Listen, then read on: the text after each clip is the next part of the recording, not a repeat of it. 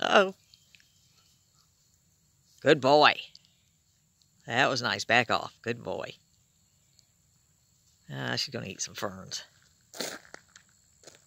Good boy, Bentley. You're the good boy.